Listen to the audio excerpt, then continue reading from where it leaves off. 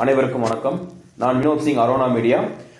இன்னைக்கு நாம பார்க்க போற படம் வந்து இயக்குனர் தீரன் அவர்கள் இயக்கிய தீர்ப்புகள் இருக்கப்படும் இல்லை யார் நடிச்சிருக்காங்க அப்படின்னா சத்யராசா ஸ்மிருதி வெங்கட் அப்புறம் நம்மளோட ஹரிஷ் உத்தமன் இந்த மாதிரி கொஞ்சம் அவங்களாம் நடிச்சிருக்கிறாங்க.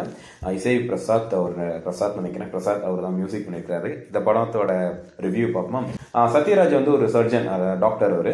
அவரோட பொண்ணுக்கு ஒரு அநீதி நடக்குது. அந்த அதுக்கு அது எப்படி நட என்ன நடந்தது அவங்களுக்கு என்ன பிரச்சனை அப்படின்னு சொல்லிட்டு அதை வந்து ஒரு கிட்டத்தட்ட ஒரு ரிவெஞ்ச் ரிவெஞ்ச் பண்ணுற கதை தான் இது. இந்த படத்தோட கதை வந்து உண்மையாக சொல்கிறேன்னா இப்போ இருக்கிற டைமுக்கு ரொம்ப தேவைப்படுது நம்ம என்னதான் நம்ம வந்து ஒரு மாடர்ன் சொசைட்டியில் நல்லா வளர்ந்தாலும் என்னெல்லாம் குற்றங்கள் நடக்குது இதை வந்து எப்படி நம்ம வந்து எதிர்கொள்ளணும்? இது எந்த மாதிரி எவ்வளோ எவ்வளோ ஜாக்கிரதையாக இருக்கணும்? அது அந்த ஆபத்து வர்றதுக்குன்னு எவ்வளோ கேர்ஃபுல்லாக இருக்கணும் அப்படிங்கிறத இந்த படத்தை பார்த்தா உங்களுக்கே புரியும். முன்னாடி வந்து நிறைய கிரைம் நடக்கும்.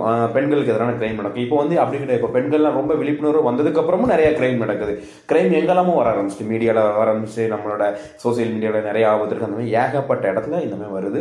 ஸோ இதுக்கு இந்த டைமுக்கு வந்து வந்திருக்க ஒரு அருமையான கதை இந்த கதை. இந்த கதையை பற்றி ஒரு டீட்டெயில் ரிவ்யூ பார்த்துருவோம். நம்ம பாக்ஸிங் ரிவ்யூ பாக்ஸிங் ரிவ்யூ தீர்ப்புகள் விற்கப்படும். தீரன் இயக்கிய தீர்ப்புகள் விற்கப்படும்.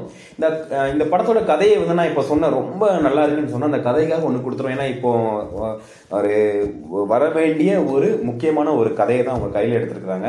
அந்த கதைக்கு அவங்க பண்ண சில விஷயங்கள் நல்லா இருந்துச்சு. அந்த படம் ஆரம்பிச்ச கொஞ்சம் போர் அடிக்க தான் செய்யும். ஒரு ஒரு ஆஃப் அன் ஹவர் வந்து உங்களுக்கு ஒரு முப்பது நிமிஷம் வந்து கண்டிப்பாக ஏதோ ஒரு ஸ்லோனஸ் மாதிரி இருக்கும். ஸோ அது வந்து கொஞ்சம் நம்மளுக்கு போர் அடிக்கும். அதுக்கப்புறம் படம் ஃபுல்லாக த்ரோ நல்லா தான் இருக்குது. அதில் நடிச்சு ஒரு நம்ம ஒரு ஒரு யார் ஒரு மூணு கேரக்டர் எனக்கு ரொம்ப பிடிச்சிருந்துச்சு. அந்த ஸ்மிருதி வெங்கட்.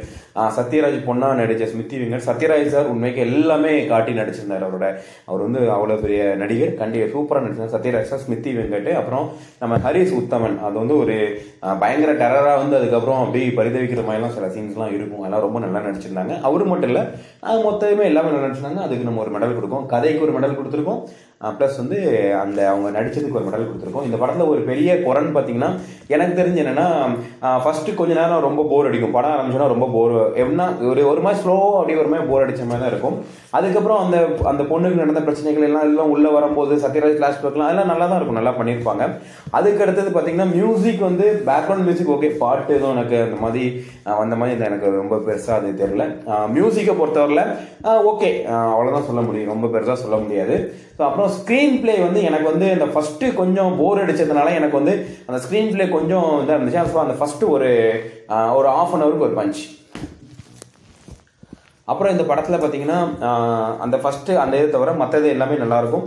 அதுக்கு அடுத்தது பார்த்தீங்கன்னா ஒரு கிளைமேக்ஸில் வந்து சில ஒரு விஷயங்கள் நடக்கும். அதாவது லாஜிக்ங்கிறது ஒன்றுமே இல்லாமல் அவர் வில்லன் சொல்கிறதெல்லாம் கொலை பண்ணுறதெல்லாம் ஹீரோ கொலை பண்ணிகிட்டே இருப்பார். இதெல்லாம் பார்த்தீங்கன்னா ஒரு லாஜிக் இல்லை. அதாவது சினிமாவில் சில லாஜிக் இல்லாமல் எடுக்கலாம். சில விஷயங்கள் எடுக்கலாம். இப்போ ஒரு நல்ல கதை எடுக்கும்போது அந்த கதைக்கு தேவையான விஷயங்கள் இருக்கலாம். அந்த காலத்தில் வந்து அந்த வரலாறு படங்கள்லாம் எடுக்கும்போது சில விஷயங்கள் நமக்கு தேவைப்படுறதுக்கு அந்த அதெல்லாம் நம்ம காட்டலாம்.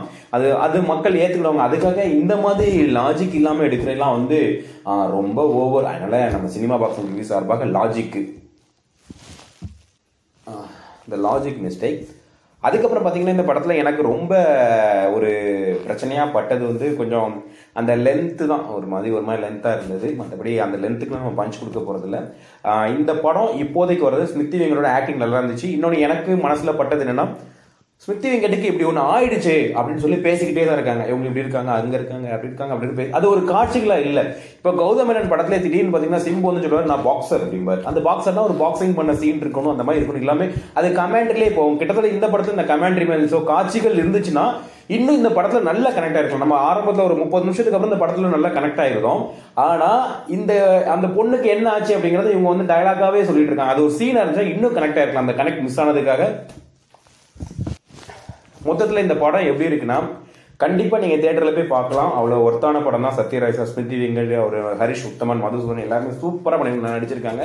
இந்த காலகட்டத்துக்கு மிக மிக மிக மிக தேவையான படம். நீங்க வந்து ஒரு பெண் விடுதலை விரும்பியா இருக்கலாம் ஒரு பெண்ணுக்கு எதிரான ஒரு அநீதிக்கு ஆஹ், எதிர்பார் எதிர்ப்பாளராக இருக்கலாம். எல்லாருமே நம்ம விரும்புகிற ஒரு சமுதாயம் அமையணும் ஆசைப்படுறவங்க எல்லாரும் ஒரு அமைதியான சமுதாயம் பெண்களுக்கு எதிரான குற்றங்கள் இல்லாத சமுதாயம் அமையணும் ஆசைப்படுறவங்க எல்லாருமே இந்த தீர்ப்புகள் விற்கப்படும் படத்தை பார்க்கலாம். தீரன் அவர்களுக்கு வாழ்த்துக்கள்.